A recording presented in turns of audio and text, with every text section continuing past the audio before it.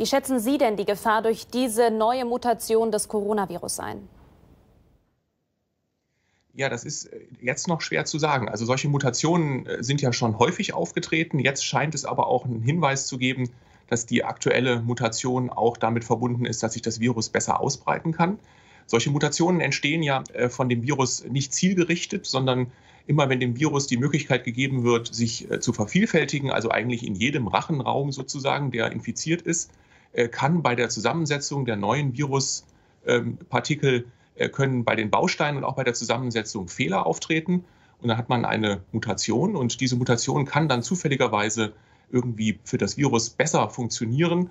Also zum Beispiel eine, eine, also schneller eine Infektion machen, sich schneller ausbreiten, alle diese Dinge. Und wenn so etwas auftritt, äh, dann kann dann eben eine solche neue Virusvariante sich auf Kosten der, der alten dann ausbreiten. Sowas sehen wir offensichtlich im Süden Englands. Äh, sowas war auch so ähnlich zu beobachten bei den Nerzen in, ähm, in Dänemark, die da dann alle gekeult wurden. Jetzt muss man eben sehen, dass man versucht, äh, hier in der Tat noch strenger vorzugehen, also die ganzen Maßnahmen wirklich stringent umzusetzen. Das galt ja eigentlich auch schon vorher. Immer dann, wenn wir dem Virus die Möglichkeit nehmen, sich zu vervielfältigen, nehmen wir ihm auch die Möglichkeit, also solche neuen Varianten äh, nach, nach vorne zu bringen. Diese Mutation, die soll ja auch deutlich ansteckender sein, von bis zu 70 Prozent. Ist da die Rede, warum?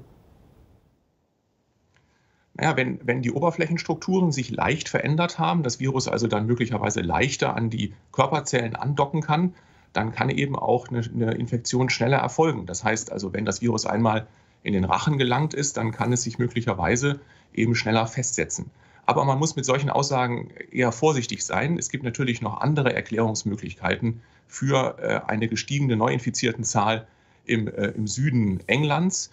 Äh, wir suchen ja auch nach Erklärungen, warum gerade Sachsen besonders häufig betroffen ist ähm, von, von der Virusausbreitung. Da gibt es viele Faktoren, also die Nähe zu Tschechien, wo die Neuinfiziertenzahl ja auch sehr groß ist, dann aber auch das Verhalten der Bevölkerung dort im Verhältnis zu dem woanders oder was die jeweilige Landesregierung in unseren Bundesländern dann an Maßnahmen gemacht hat oder auch an Kommunikation nach außen gegeben hat, wie mit dem Virus und der Ausbreitung umzugehen. Jetzt vor allem besonders interessant natürlich für alle Zuschauer, für alle Menschen in Deutschland. Ist diese Mutation auch gefährlicher? Ruft sie härtere Symptome hervor und auch ähm, tödlicher? Äh, da haben wir bisher noch keine Daten, also keine Hinweise. Das muss man äh, noch abwarten, denn jetzt ist das ja erstmal festgestellt worden, dass es eine solche neue Variante gibt. Äh, jetzt muss abgewartet werden, wie sich dann die klinischen Verläufe zeigen von Patienten, die dann mit dieser neuen Variante infiziert worden sind und dann auch erkranken. Das ist etwas, was abzuwarten ist. Bisher gibt es keinen Hinweis darauf. Es ist auch eher unwahrscheinlich, dass die ähm, Impfstoffe, die ja bisher hergestellt worden sind gegen die alte oder klassische Form von dem SARS-CoV-2, äh, plötzlich wirkungslos werden. Ganz im Gegenteil. Also das sollte im Prinzip auch von allen Impfstoffkandidaten die noch in der Entwicklung sind, mit abgedeckt werden. Das heißt, der Impfstoff, der ist nicht für die Katz. Das ist auf jeden Fall schon mal ein gutes, eine gute Nachricht. Wie sieht das denn mit möglichen künftigen Mutationen des Coronavirus aus? Bei der Grippe, da gibt es ja jedes Jahr einen neuen Impfstoff, weil der Virus eben mutiert. Könnte das dann auch auf den Coronavirus zutreffen?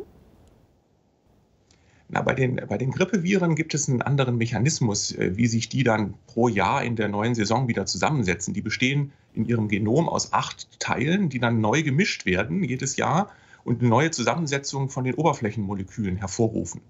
Ähm, so etwas beobachten wir bei dem ähm, SARS-Virus nicht. Aber trotzdem kann es natürlich vorkommen, dass ähm, neue Varianten auftreten.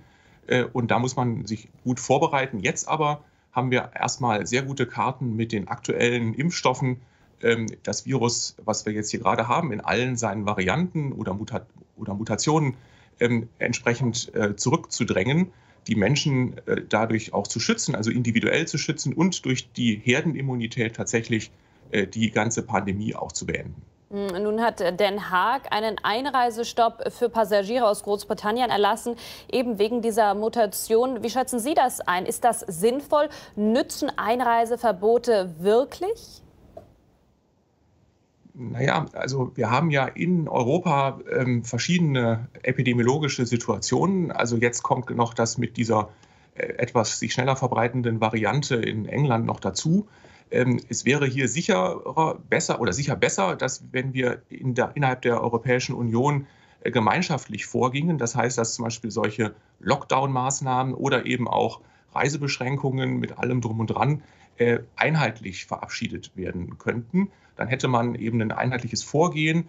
Das Schließen von Grenzen innerhalb der Europäischen Union ist nicht zielführend, das haben wir gesehen im Frühling, aber eben eine Harmonisierung in den Maßnahmen gegen die Virusausbreitung, das wäre schon sinnvoll.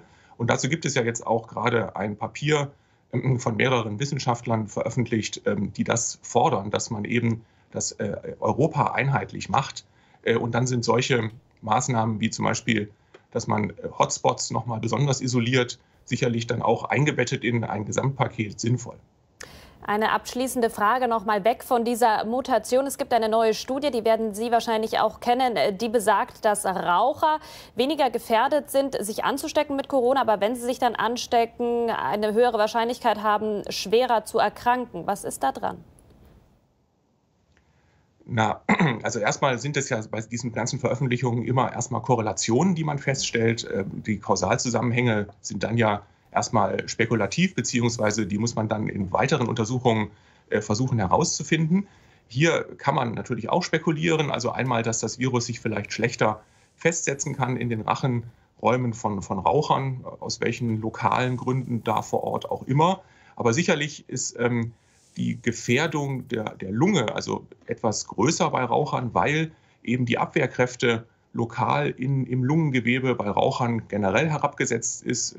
Es gibt ja auch den klassischen Raucherhusten, der dadurch zustande kommt, dass eben die Selbstreinigungskräfte in einer Raucherlunge sehr stark herabgesetzt sind. Das heißt, Erreger können leichter in die Lunge vordringen, so eben auch äh, nicht nur Bakterien, sondern auch Viren, auch das Coronavirus. Und dann ist es wahrscheinlicher, dass wenn das Virus einmal in die Lunge vorgedrungen ist vom Rachenraum, dass es dann eben auch Krankheitsverläufe gibt, möglicherweise eben auch schwerere, wenn das dann noch weiter andere Organsysteme betrifft. Herr Professor Ulrichs, ich bedanke mich ganz herzlich bei Ihnen für das Gespräch und wünsche Ihnen noch einen schönen Adventssonntag. Ihnen auch. Alles Gute.